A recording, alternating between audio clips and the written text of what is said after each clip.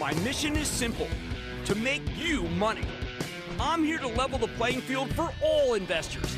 There's always a bull market somewhere, and I promise to help you find it. Mad Money starts now. Hey, I'm Cramer. Welcome to Mad Money. Welcome to Cramerica. Be one of my friends. I'm just trying to make you some money. My job is not just to entertain you, but to educate and teach you. So call me at 1 800 743 CNBC or tweet me at Jim Cramer. Over the weekend, we got these very positive but unsourced stories about how a debt ceiling, well, deal, it could be, I don't know, maybe one in hand? Like you, I was pleasantly surprised to see we're not about to degenerate into third world debtor nation status. But then I remembered how the debt ceiling talks played out in 2011. Oh, we hear good things like we heard this weekend, only to realize that they were just trial balloons or even total nonsense. So even though the Dow advanced 48 points, the S&P climbed 0.3 percent, the Nasdaq gained 0.66 percent. What happens if things are far more off the rails than we'd like?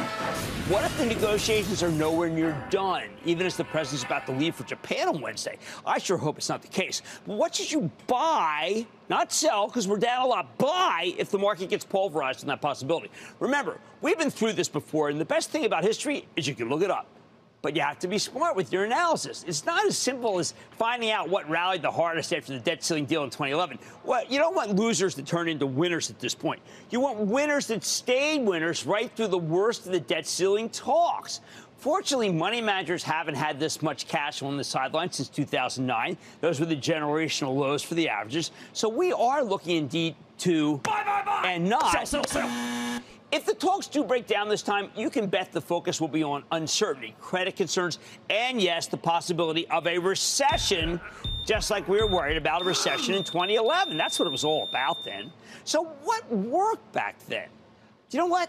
I found a list of eight stocks that performed incredibly well all year in 2011, with the breakdown in the debt ceiling talks giving you a tremendous temporary buying opportunity before they powered ahead into year end. These stocks were all tightly clustered, with some no longer relevant and some simply not worth considering. So the order really won't matter that much. But you know what is ironic? Our first name from back then is front and center again today. It's called ONEOK. Yep, the natural gas pipeline company that just announced this morning it's buying Magellan Midstream Partners for $19 billion. The merger's a little odd in that Magellan ships refined products, ONEOK's natural gas. Neither Tulsa-based company has a coveted pipe to the oil-rich Permian Basin.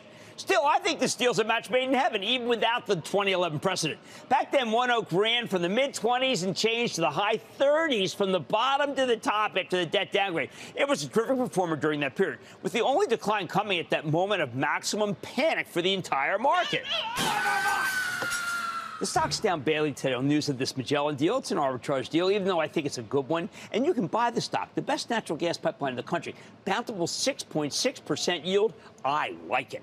Next, Consider Ross Stores. That's the off-price discount chain, which ran up seven bucks from its 16 and change bottom in 2011. Now, Ross reports Thursday, and while I, I don't hate it, I am a much bigger fan of TJX, which reports on Wednesday. Now, we own TJX for the Charitable Trust, and we're telling members of the investing club that it should have a good quarter because so many nearby Bed Bath & Beyonds are vanishing. Now, I want to see what they have to say. For all we know, TJX might tell us that Bed Bath inventory is all over the place, driving down prices. So we have to wait to see where it settles. The ideal thing is to buy some tomorrow and then buy some more TJX after reports Wednesday morning when we'll be talking about it at our monthly club call. Fill everybody in. We know the off price stocks worked during the last debt ceiling showdown, so I think that gives you extra confidence it's going to work again. Now, here's one I think is some real opportunity, and it was surprising to see Chipotle.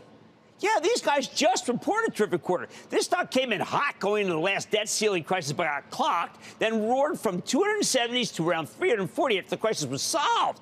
Chipotle trades erratically at all times, but the best time to buy it is when you have the most current information. right now, that information is fresher than an Al Pastor. I say, Chipotle. Hey, next we own Humana for the Charitable Trust, and while we didn't pick it for its extraordinary outperformance after the Standard Poor's downgraded the U.S. debt in 2011, it certainly doesn't hurt. Back then, the stock roared from 65 bucks to nearly $90. Like the others, it had been strong all year, then dipped into the worst of the debt ceiling fiasco, and then caught fire again.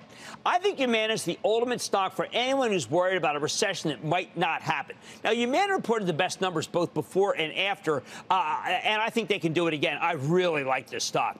Now, I've been eyeing the stock of MasterCard ever since that great last quarter that it just reported, and sure enough, you know what? It turned out to be a tremendous winner in 2011, too, assuming you bought the stock before it rebounded like crazy. After all this Sturm und Drang about fintech, it turns out that MasterCard's been the fastest grower, most consistent operator in that space for ages.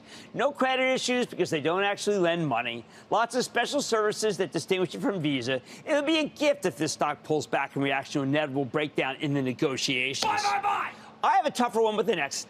Really, this is a tough one for me. The next one is Biogen because there's so much good news in it about both its Alzheimer's drug and a potential treatment, or at least a marker for ALS. Now, these are horrendous, horrendous diseases, and all this good news for Biogen makes the stock a speculative behemoth.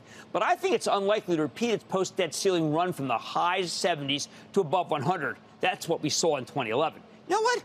I'm afraid to go with Eli Lilly, which has a similar drug for Alzheimer's, but also has a diabetes and weight loss combination, which can be taken separately under the name Mounjaro. This drug doesn't just cause you to lose about 15% of your weight in an incredibly short period of time. It's also being tested for high blood pressure and excessive drinking. It could be a wonder drug. Finally, there's Intuitive Surgical, the robotic surgery play that we recently had on the show. Wow, is it a good story? And it was great back then in 2011. Intuitive was at that point still focused on prostate related illnesses, a smaller market. But now its machines are used for all sorts of ailments. They go into your pancreas, your liver, your gallbladder. The whole robotic surgery industry's had a renaissance of late after a full stop caused by COVID.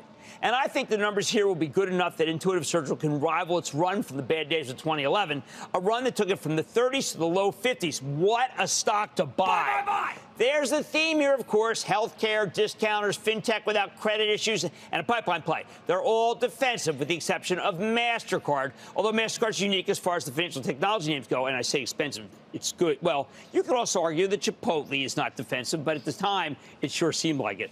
I wish I were less skeptical of a theoretical debt ceiling deal falling apart or coming together less than perfectly. But in the 2011 talks, there was a sense that something had to happen and someone had to give that someone being President Obama, because he wanted to get reelected the next year.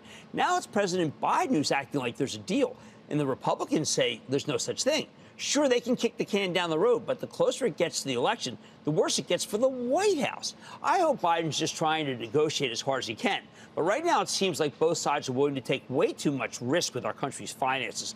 The complacency confounds me, makes me a little more negative than I would be given all the cash from the sidelines. So the bottom line take these current negotiations with what we know from the history of 2011, and then you'll be ready for whatever this moment throws at you. Now you've got a buy list if it gets really ugly, one tested by the great debt fiasco of 2011. Let's go to Shane in Alabama. Shane. Hey, Jim. Thank you. You're still thank my you. favorite cameo in Iron Man. Oh, that was fun in that one. I like that. Thank you for mentioning it. What's going on? Jim, you're a true superhero, saving us from monetary mayhem. My question is about Hostess Brands. Is it a buy right now or wait for a sweeter price? Well, I think at Andy Callahan's doing a remarkable job. They've really reinvented that company, and I'm going to say it is a buy. They've done terrific. I got to get him back on the show. What a nice move. What a good thing he's done here. Let's go to Chris in Pennsylvania, please. Chris. Hey, James Chris from, from uh, Hazleton, Pennsylvania. How are you doing today? I'm doing well. How about you? All right. Um, just have a question about uh, um, Goodyear tire. Well, Goodyear tires up, up just a very, very quick 40%. Uh, on Elliott, fi- Elliott Partners filing to say that there should be a lot more that can be done here. Rich Kramer uh, has been has come on the show before, but the stock has been a loser, and now it's becoming a winner. And I've got to tell you, if it comes down a little, I would pull the trigger. Not up here because it just moved 40 percent. Let's go to Joe in Georgia. Joe. Jim, love your show. I wanted to ask you about Berkshire Hathaway. How do you feel about? Oh, Berkshire Hathaway is terrific, and I got to tell you, I spent all day listening to Becky do that great interview, and that was some learning lesson. All I did was come back thinking even better feelings about how much I like Berkshire Hathaway, including the fact that they have an excellent succession plan. All right, if you're nervous about the outcome of the debt ceiling talks, just remember we've been through this before. This time around, you just have to be smart with your analysis and look at the stocks I just mentioned. Well, Mad Money tonight worries about a government default continue to hang over this market. But one place where we're about to see a bunch of government spending, infrastructure. As money from spending packages begins flowing to the states, I'm eyeing one player that stands to benefit. I'll reveal the name when I sit down with the CEO just ahead. Then, at confusing and turbulent moments like this one, I'm putting emotions to the side and going off the charts to find out what the, te- the technicals are saying and they're pretty darn interesting between the Nasdaq and the S&P. And Planet Fitness took a tumble after reporting earnings, but as concerns about a recession linger, could a consumer trade down drive additional upside? I'm sitting down with the CEO, so stay with Cramer.